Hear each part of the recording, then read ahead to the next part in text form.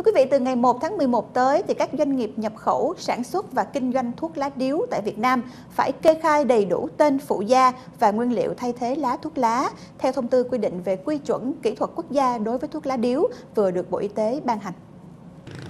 Thông tư của Bộ Y tế quy định hàm lượng tối đa nhựa thuốc lá và nicotine trong một điếu thuốc lá lần lượt là 16mg và 1,4mg. Thông tư cũng quy định đơn vị nhập khẩu, sản xuất và kinh doanh thuốc lá điếu tại Việt Nam phải kê khai đầy đủ tên phụ gia và nguyên liệu thay thế lá thuốc lá, toàn bộ các nguyên liệu trong quá trình sản xuất chế biến thuốc lá điếu cho cơ quan quản lý nhà nước có thẩm quyền. Tổ chức cá nhân nhập khẩu sản xuất kinh doanh thuốc lá điếu phải công bố hợp quy tại Cục An toàn Thực phẩm và chỉ được kinh doanh sau khi được cấp giấy tiếp nhận bản công bố hợp quy và đáp ứng các quy định pháp luật khác có liên quan.